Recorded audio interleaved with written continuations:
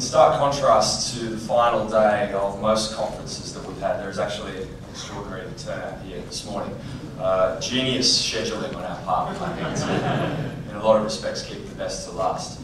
Uh, we're going to be here for a couple of hours this morning, and I'm pretty stoked about the program that we've arranged. Uh, obviously, first up, Yahtzee. Uh, after that, we've got a publisher panel, so we've got uh, three very high-level representatives from uh, three great publishers. Gub from Australian Game is going to chair that session. It will be a Q&A style panel, and hopefully we'll have the opportunity to get to the bottom of some of the, uh, some of the issues that interest us as developers and certain issues that uh, interest you as a member of video game media. I want to acknowledge uh, THQ as the generous sponsor of both of these sessions this morning. Thank you very much, Steve Dorman from THQ. Wasn't enough for them to walk away with pretty much all of the awards last night. Even further profile raising this morning.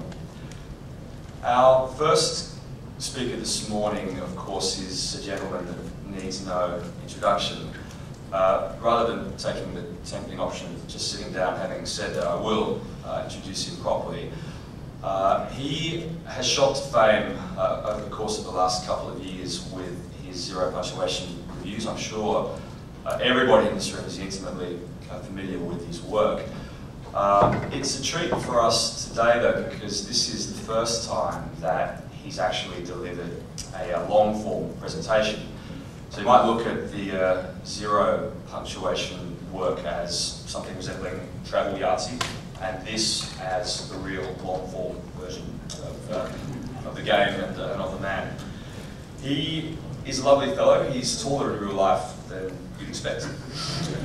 and he's going to regale us with his insights uh, this morning of uh, video games from a critic's perspective. Can you please welcome to the stage Yahtzee.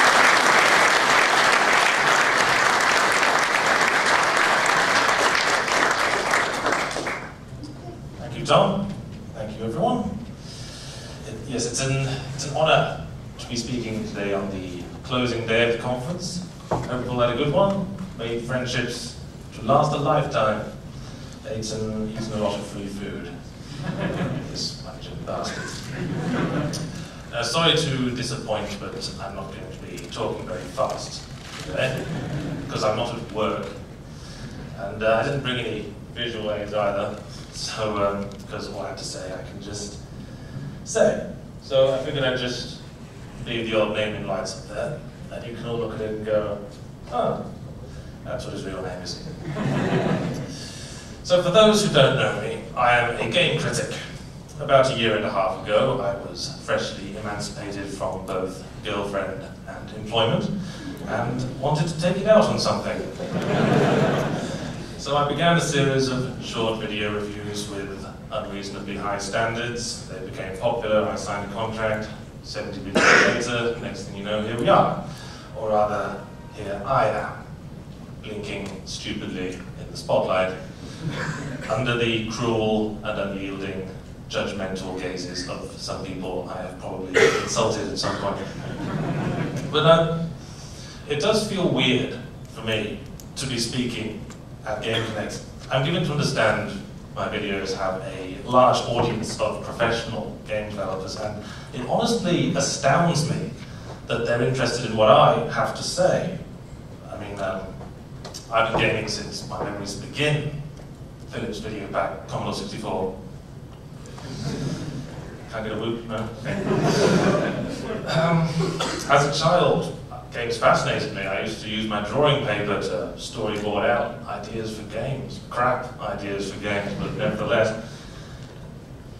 Being a game designer was like a dream, and actual professional developers were like figures of legend.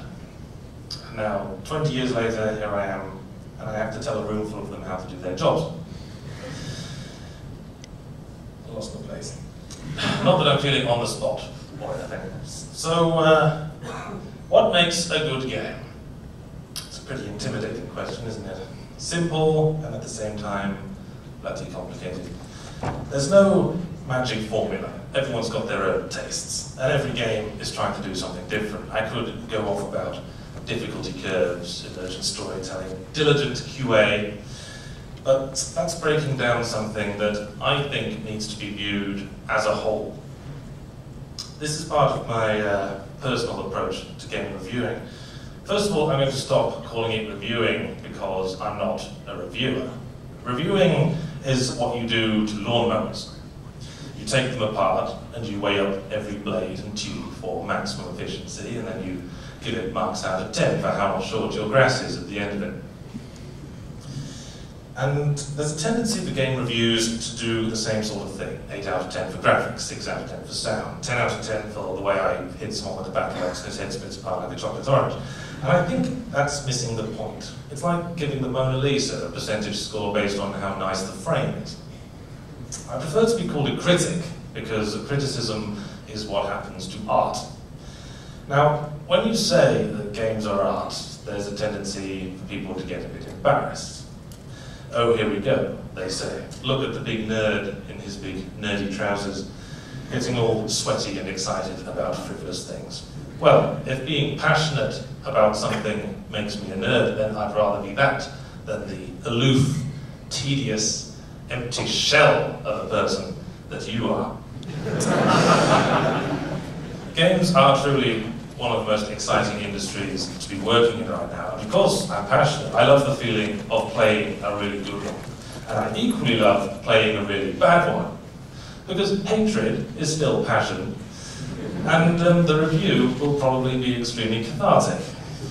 What I really hate is reviewing the middle ground. Games that are okay, but aren't going to rock anyone's face off. Where you just stumble through a perfectly functional, bleary haze for about eight hours, but that's something I'll get back to later. For now, games are art. Just accept it. I don't see what else they can be. There are only two categories of things created by man, tools and art. Tools have to have a practical purpose and art does not. And games don't have enough actual physical benefit to be called tools. Well, okay, they have some. You can argue that they develop reflexes and map reading skills if you're trying to talk your mum into buying you a console, or if you happen to be a robot. what sets art apart, art apart, is that while it can have a function, its main intention is to explore human emotion, to make us empathize. Empathy is perhaps more vital to video games than any other medium because no film or book asks you to personally step into the shoes of the main character. And that's what you have to consider when judging whether a game is doing its job properly. If the game is story-based, do I want to see how the story ends? If it's more gameplay-oriented, do I care whether or not I'm playing it well?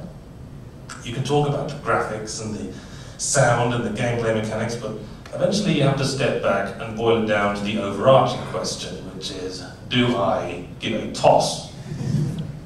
Now, I was incredibly bad at Wing Commander, and within minutes of starting the first mission was blasted into a cloud of metal and limbs. Cue a mournful MIDI track and a game over funeral cutscene in which my noble commander gave a stirring eulogy for the great pilot insert name here. And I actually cried like a child, which was easy because I was one at the time. My brother didn't let me hear the end of it for a while, but why did I care so much about a character of whom all I ever saw was a pair of knees and a hand gripping a joystick?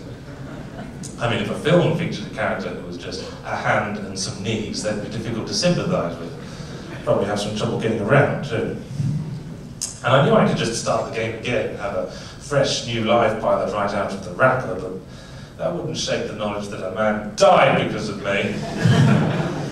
that was a genuine emotion, bigger than what most movies and TV shows at the time provoked in me. That more recently, I played a game called Age of Conan, I entered a dialogue with some skinny woman in a metal bikini and got to watch her beautifully rendered model stand ramrod stiff as her jaw flapped up and down in time with the dialogue, gently swaying and occasionally doing weird sort of interpretive dance mid-sentence.